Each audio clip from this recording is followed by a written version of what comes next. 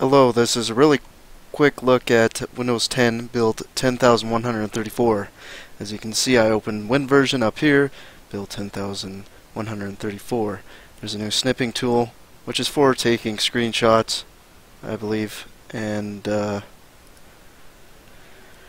then you can instantly save a screenshot just like that, which I find is redundant. I'd prefer to just print screen, and if I were to show it someone I would usually paste it in Imgur.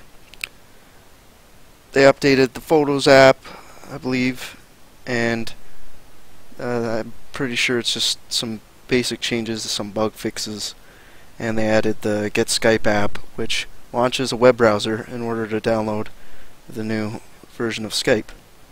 Version of Skype is 7.5. Um, I believe that's about it.